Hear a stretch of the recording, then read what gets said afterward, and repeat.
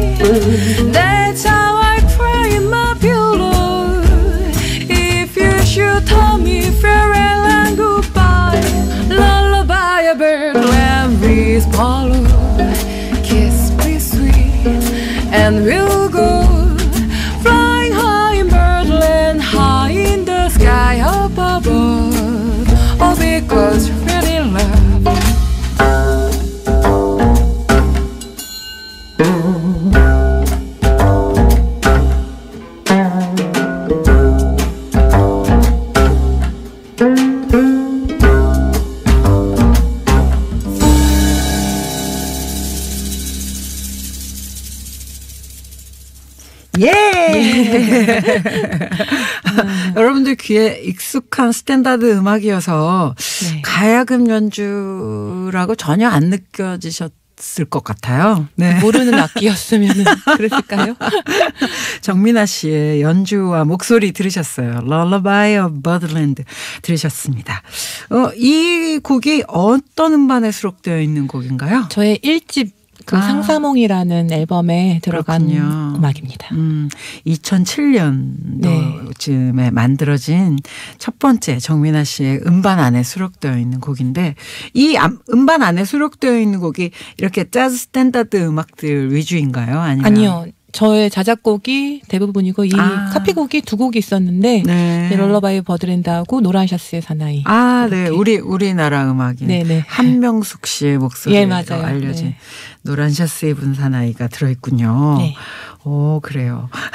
굉장히 그 다양한 음악들을 소화하고 음. 본인이 관심 있어 하는 것이 이 첫 앨범부터 아, 네. 느껴지는 느낌이어서 그렇게 그, 그, 그렇게 욕심을, 음악적인 욕심을 내는 원동력은 무엇일까 궁금해졌어요. 어, 글쎄요, 그냥 어렸을 때부터 어, 홍대, 그러니까 홍대에 공연하게 된 계기 자체가 홍대 공연을 계속 보러 다녔어요. rock kid로 성장을 했기 음, 때문에 네. 그 시절에 이제 뭐 97년, 98년에도 은미 언니의 공연도 여러 번 가서 그 멤버를 보고 막 환호성을 질렀었고 뭐 그때 한참 또 락밴드, 아 그때 락밴드처럼 거의 공연을 하셨었잖아요. 네, 그죠? 지금도 락밴드 아, 같이 그렇죠, 해요. 그렇죠, 네. 그렇죠. 사실 네. 제 어떤 제 몸속에 흐르는 피 중에 한 70% 정도는 락커. rock spirit. 네. 네. 근데 히트하는 음악이 대부분 다 발라드여서 맞아요. 네, 네, 맞아요. 그것도 되게 슬픈 발라드여서 왠지 나는 이런 운명을 타고났나 막 이런 생각을 가끔 하죠. 맞아요. 저도 그 생각 많이 했어요. 은미 언니는 굉장히 그 rock spirit 하고 그 목소리 굉장히 어울리는데 제가 들을 때는 막 희열이 느껴지는데 왜 사람들이 대중적으로 많이 알려진 거는 발라드가 대부분일까? 네, 그러게요. 예. 저도 그게 미스테리합니다. 제가 아. 제가 사망하고 나면은 많은 분들이 알아내시려나 그 이유를. 엄청 펑키하시잖아요. 그리고 목소리 자체가. 아, 그렇지는 않은데요. 아무튼 제가 좋아하는 음악들은 그런 종류의 음악인데 그래 어. 그래서 제가 여쭤보는 거예요. 네. 그러니까 이렇게 다양한 음, 음악 장르들의 눈을 돌리고 네. 할수 있는 계기나 원동력은 무엇일까? 사실 가야금이라는 악기가 네. 주는 한계가 물론 그걸 뛰어넘으시려고 25년짜리 계량 가야금을 선택을 하셨겠지만 네.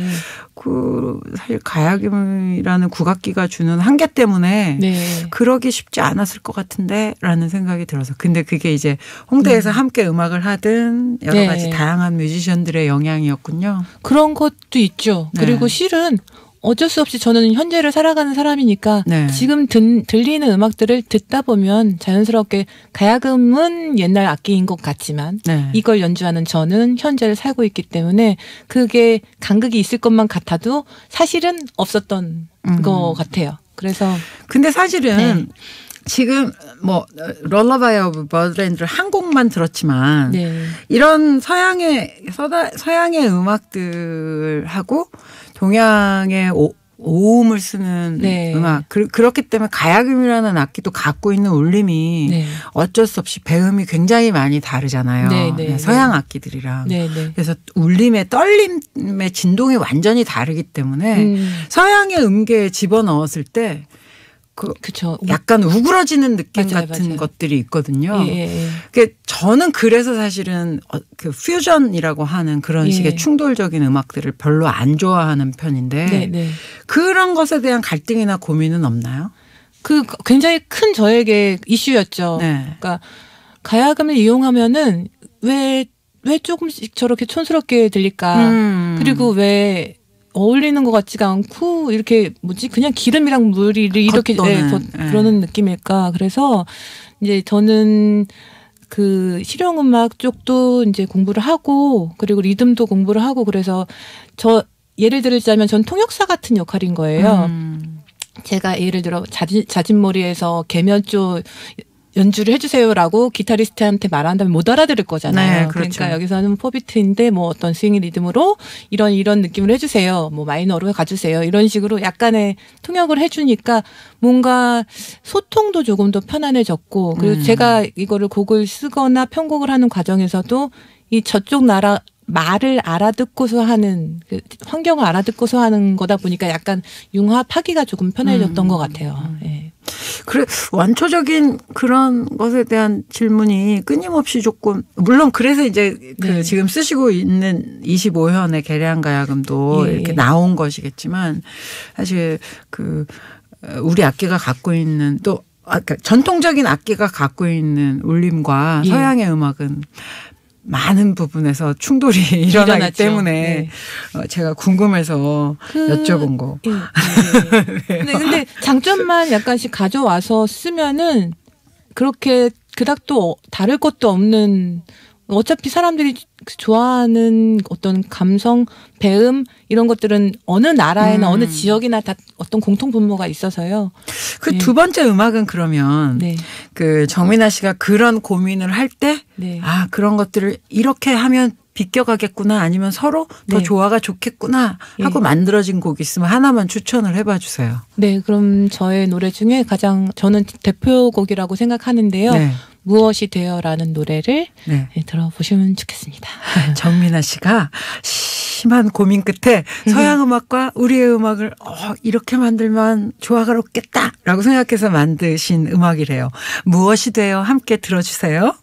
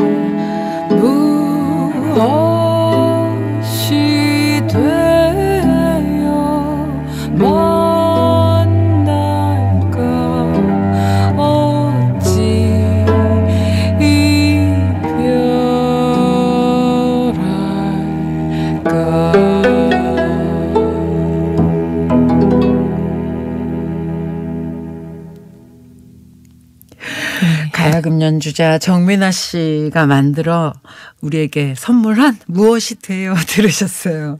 오, 굉장히, 굉장히, 뭐랄까. 이런 완고함은 어디서 나오는 걸까? 되게 궁금해질 정도로 예. 노래를 너무 차분하게 끌어가시네요. 노래를 못해서 그래요. 아, 기술력이 없거든요, 저는. 아니 농담하자는 얘기로 했는데 너무 진지하게 닫기로 받으시네.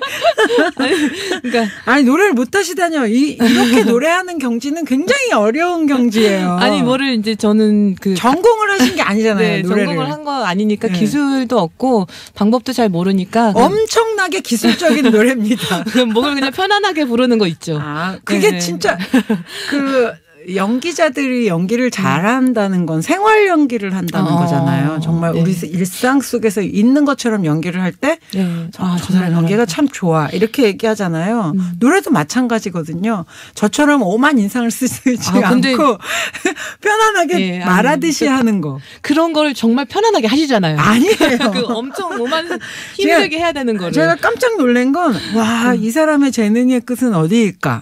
음. 가야금 연주도 잘해, 곡도 잘 만들어, 노랫말도 잘 써. 노래까지 이렇게, 어, 뭘까, 완고하면서도 아주 덤덤하게 감정을 한번 턱하니 눌러서 내려놓은 상태로 부르는 표현. 아유. 도대체 뭐가 들어있길래, 저 속에 뭐가 들어있길래 이런 음악이 나오지? 막 이런 느낌. 한, 한. 아직 한을 느끼실 만한 연세는 아니시잖아요. 아니에요. 저 부록을 넘겼기 때문에. 예.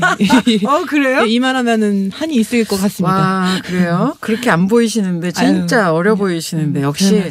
음악가들의 나이는 어, 외형으로 판단할 수 없습니다. 아유, 네. 아줌마죠. 아니에요, 아니에요. 너무 너무 어려 보이세요. 30대 초반? 아이고. 네. 아, 저 진짜 그렇게 봤거든요. 그래서 막 하려고 그랬는데 안 되겠네요. 아, 이렇게 우리에게 정말 아주 독특한 감흥을 느끼도록 해주시는 가야금 연주가 정민아 씨랑 조금 더 얘기 나눌 건데요. 잠깐만 기다려 주세요.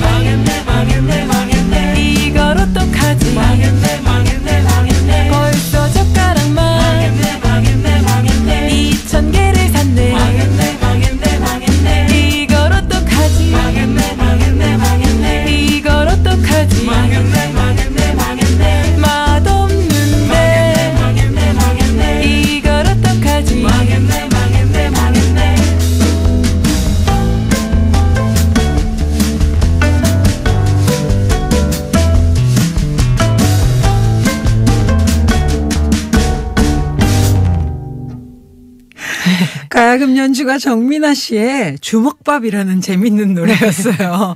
본인의 실제 경험담이라고. 예. 네. 음악만으로 먹고 살기 힘들어서. 아, 그러니까. 창작 활동을 위해서 주먹밥을 만들어 팔기 시작했는데. 네, 광화문역 7번 출구에서 팔았었거든요. 맛이 없어서 망했다는 슬픈 얘기를 네. 이렇게 네, 노래를 팔아야겠다. 내가 망한 다음에 차라리 이걸로. 이렇게 귀엽고 예쁜 노래로 만들어서 전해주실 줄 상상도 못했습니다. 진짜 노랫말을 듣다가 제가 너무 귀여워서 빵 터지 죠. 네. 중간에 이제 젓가락 2,000개를 샀다는 얘기가 있어요. 아 그래요? 그러니까 마- 다량 구매하면 싸잖아요. 그래서 저는 이걸로 성공할 줄 알고 이제 주먹밥을 네. 2,000개 이상은 당연히 팔겠지 생각을 하고서 샀는데 한, 한 2주 있다가 망했어요. 더 이상 팔리지가 않아서 마- 맛을 본 사람이 안 오더라고요. 젓가락 아직도 쓰고 계신 건 아니죠?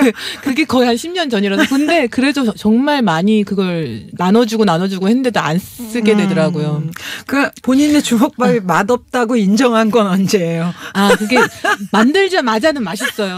근데 가지고 나- 그거를 차도 없으니까 그거를 그 아이스박스에 들고 602번 버스를 타고 아. 광문역 7번 출구에 내려가지고 좌판에 깔아 넣으면은 점점 이 김가루 묻힌 게 맛이 없어지는 거예요. 아 그- 눅지근해지면서. 예, 예, 예. 그 약간 김 비린내 같은 것도 나는 것 같고. 아.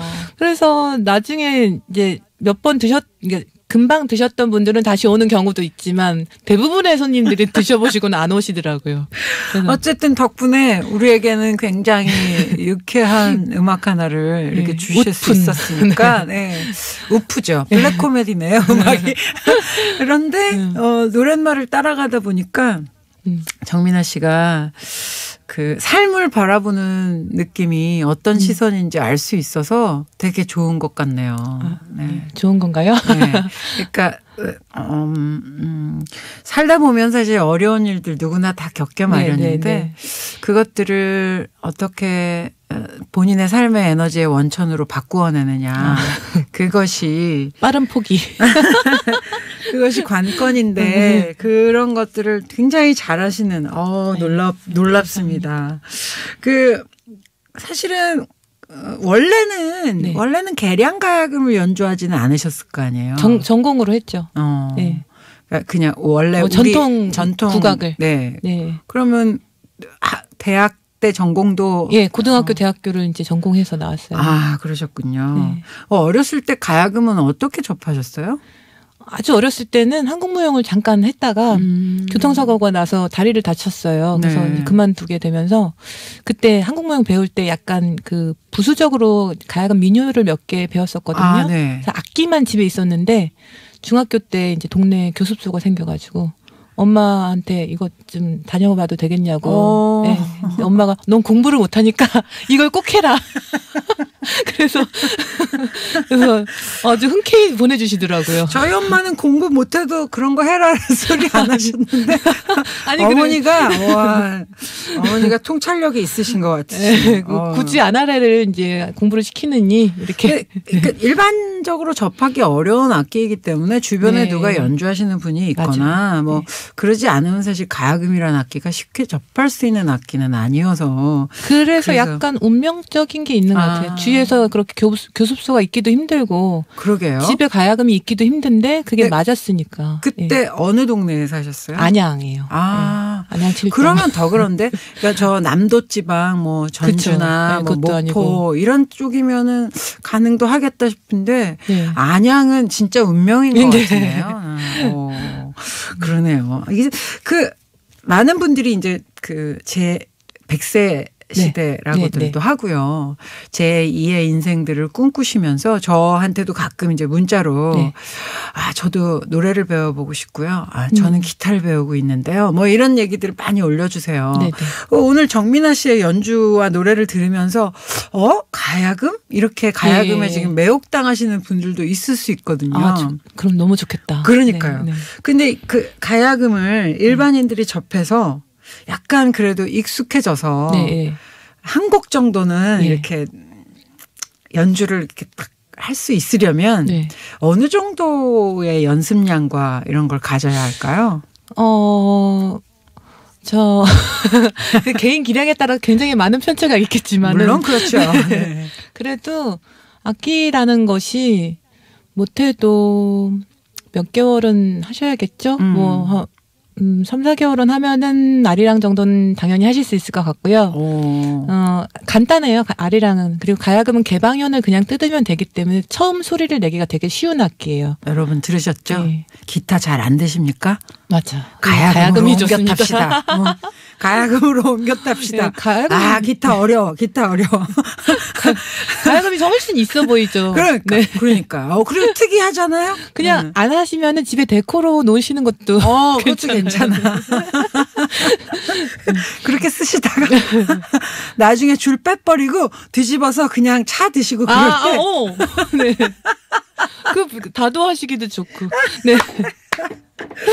어, 네. 그, 그, 지금 제가 음악을 뭐 세 곡 정도밖에 들어보지 않았지만, 네. 정민아 씨가 그 굉장히 다양한 음악들에 이렇게 마음을 열어놓고 흡수하시는 것 같거든요. 아, 네. 요즘 제일, 어, 제일 마음이 많이 끌리는 장르는요? 아, 요즘엔 일렉트로닉 아, 정말? 네, 일렉트로닉이랑 같이 산조랑 합쳐, 합치려고 작업하고 있어요. 아, 그거 좋겠네요. 네, 디제잉한 친구하고 같이 협업해서 작전을 어. 짜고 있어요. 되게 멋있을 것 같아요. 네, 잘 해서 이제 클럽 틀으려고요. 아, 예전에 그냥 홍대 라이브 클럽이었는데 이제 완전 이제 디제잉 클럽으로 가보려고. 어, 네. 야, 그곳에서 가야금이 연주되면서, 예. 어, 그 되게 멋있을 것 같아요. 거, 기에다가 이제 진짜 약간 전통적인 그러니까 네. 지금 제가 하는 노래는 사실 대중음악에 가깝 거든요. 네네. 저는 그냥 포크송 같은 네. 느낌인 건데 어 진짜 전통적인 정가라던가 완전 산조를 아. 살짝 넣는데 이 그게 아까 말씀하신 것처럼 불편하진 않게 음. 하려고 그런 작업을 지금 하고 그- 있어요. 정가나 산조는 좀 느린. 예, 근데 이제 막 편이잖아요. 비트 있는 거랑 같이 맞추면은 와, 오- 그거 오묘하게, 멋있겠다. 예. 저 시켜주세요. 아, 그거. 진짜? 네. 제가 정가를 되게 배우고 싶었었거든요. 아 정말요? 네, 그러니까 그 어. 한복을 입고 다섯 곳이 앉아서 정가를 부르시는 모습에 제가 한 2년쯤 매혹당했었던 네. 어, 적이 너무 있어요. 멋있어요. 네, 진짜. 아, 어떻게 저렇게 미동도 없이 네. 소리를 저렇게 길게 뽑아낼 수 어. 있을까? 예. 그러니까 굉장히 미스테리했거든요. 근데 어. 그 일렉트로닉한 음악에 정가를 쫙 연주하면 정말 멋있을 것 같아요. 잘해야죠. 네. 아니요, 정민아 씨 잘할 수 음, 있을 잘것 같아요. 해보겠습니다. 네. 실패도 어, 흔쾌히 예술적인 승화로 만드시는 정민아 씨라면 음. 충분히 네. 한 번에 딱 멋있게 잘 안 되더라도 네, 충분히. 네, 더 멋지게 만들어낼 수 있을 거라는 확신이 드네요. 감사합니다. 정말 많은 음악가들과도 교류를 하시고 저희 프로그램도 오셨지만 재즈 네. 보컬리스트 말로 씨하고 예. 앨범 작업이나 또 네. 보컬 트레팅 같은 걸 위해서 연주를 어, 하시거나 함께 작업을 하셨는데 네. 얘기해 봐 주시면 안 돼요? 어떤 분이 제일 저한테 네 좋던가요? 아나 아, 이분이랑 작업하니까 정말 막 너무 아, 좋았어 이런. 다들 너무 좋았죠. 그 근데 지금 저에게는 아주 큰 음악적인 동료 중에 한 명이 박혜리 씨라고 아마 네. 바드라는 이제 아일리시 밴드가 있어요. 두, 두 번째 달에 네. 원년 멤버이고 네. 그 뒤에 바드라는 앨범에서 또 게- 아, 앨범이 그 밴드에서 계속 해왔던. 근데 저 저랑은 생긴 건 다른데 영혼이 쌍둥이에요. 아, 그래요? 생각하는 게 똑같습니다. 어, 그런 분이랑 하는 거면 뭐. 네, 그래서 박혜리 씨하고 같이 연주하고 지금도 저의 세션으로 많이 도와주시기도 아, 하고. 그렇군요. 네. 네. 갑자기 생각하니까 그분이 생각나네요. 나중에 그럼 박혜리 씨랑 함께 연주하시는 모습도 한번 저희가 기대를 아, 네, 네. 해보. 어, 지금도 많이 하고 있습니다. 네, 그렇군요. 예, 예. 그러, 그러면 이제 정민아 씨의 음악, 네. 오늘 가야금이라는 악기에 대해서 굉장히 많은 분들이 그, 이, 그 네. 관심을 갖게 되는 계기가 될 수 있도록 네. 한 곡만 더 유혹을 해주세요. 아, 그럴까요? 네. 그러면은 이번에는 작고 작게라는 노래를 어, 들어보시면 좋을 것 같아요. 이거는 어떤 음반에 수록되어 있는 곡인가요? 제 4집인데요. 그 전에 프로젝트 앨범에 들어갔던 노래인데요. 아, 이야기해 주세요라는 위안부 피할머니들을 위한 여성 뮤지션들이 같이 만드는 앨범이 있어요. 아, 네, 네, 네. 네. 그래서 이 노래는 내가 만약에 그녀였다면 음. 나는 그냥 평범한 작은 길가의 풀처럼 작고 작게 평범하게 살고 싶었겠다라는 생각으로 만든 노래예요. 아, 그렇군요. 가야금 연주가 정민아 씨의 음성으로 작고 작게 함께 감상하시죠. 길가의 풀처럼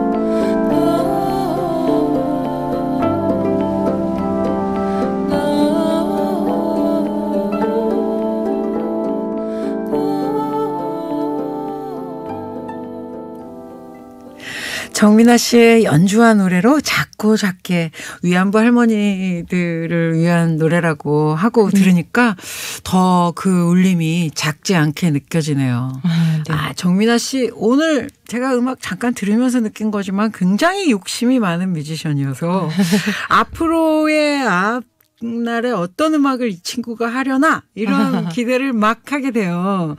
그 올해의 계획 그럼. 올해 이렇게 아까 네. 말씀드린 그 일렉트로닉 음반을 네. 예, 잘 만드는 게 가장 그 저에겐 구체적인 계획 중에 하나고요. 나머지는 계획이 없습니다. 아니 재밌는 공연도 많이 하시고 네. 정말 많은 연주인들하고 같이 협- 협업도 하시고 네, 네. 그러니까 저희 함께라면에도 새로운 공연 소식이나 네, 새로운 음반 소식이 있으면 꼭 좀 알려주시면 예, 좋겠어요. 좋은 라면으로 갖고 오겠습니다.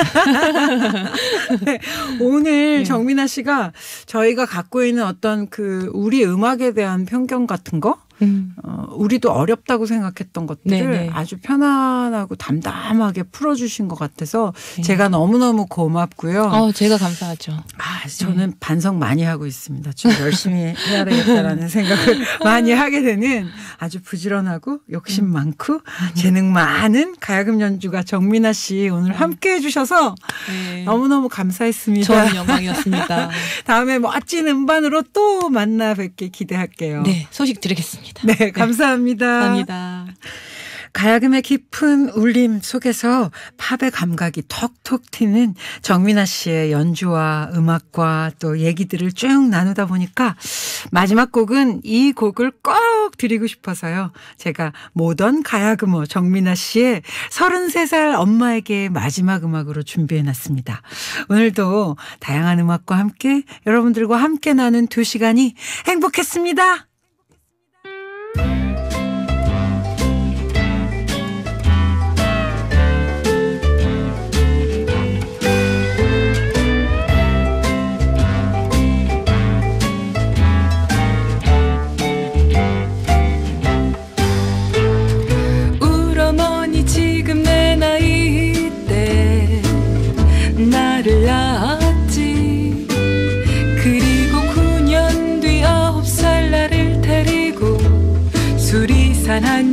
한증막에 갔어 아홉 살짜리를 데리고 간건 쓸쓸하지 않으려고.